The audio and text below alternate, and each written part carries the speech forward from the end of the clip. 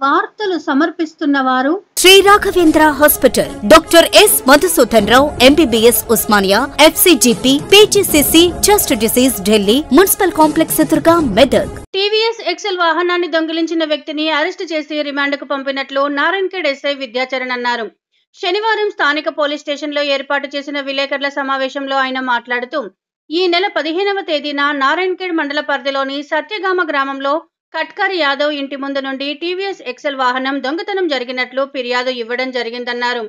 Case నమోదు చేసి దర్యాప్తు నిర్వహిస్తుండగా శనివారం పెట్రోలింగ్ నిర్వహిస్తున్న క్రమంలో పంచగామ కమాను వద్ద తున్నూరు గ్రామానికి చెందిన బేగరి లక్ష్మణ్ పోలీసులను చూసి పారిపోతుండగా పట్టుకుని విచారించగా టీవీఎస్ వాహనం దొంగిలించినట్లు అంగీకరించాడు. గతంలో అతనిపై ఏడు కేసులు ఉన్నాయని రెండు వేల ఇరవై మూడు డిసెంబర్ నెలలో మన ఊరు పోలీస్ స్టేషన్లో బైక్ దొంగతనం కేసులో రిమాండ్పై వెళ్ళి ఈ నెల పదవ తేదీన జైలు నుండి విడుదలై ఈ నెల పదిహేనున వాహనం దొంగతనం కేసులో పట్టుబడడం జరిగిందన్నారు.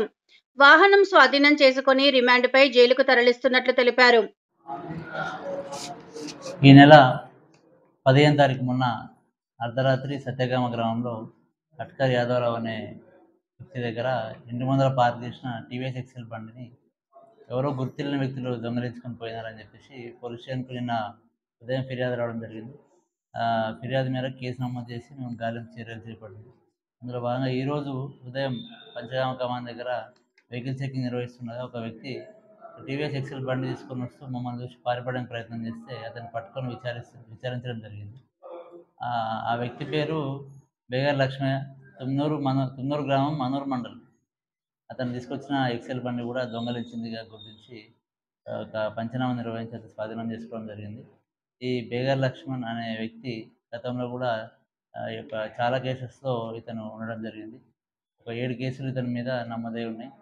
పోయిన సంవత్సరం డిసెంబర్ నెలలో మనూర్ పోలీస్ స్టేషన్ నుంచి ఇదే బైక్ దొంగతనాల కేసులో రిమాండ్ అయ్యి మొన్న ఆగస్టు పది తారీఖు రోజే ఇతని జైలు నుంచి రిలీజ్ అవ్వడం జరిగింది. వచ్చిన తర్వాత ఈ విధంగా మళ్ళీ ఒక దొంగతనం చేసి పట్టుబడ్డాడు. ఇతన్ని మళ్ళీ జ్యుడిషియల్ కస్టడీ కొరకు రిమాండ్కి తరలిస్తారు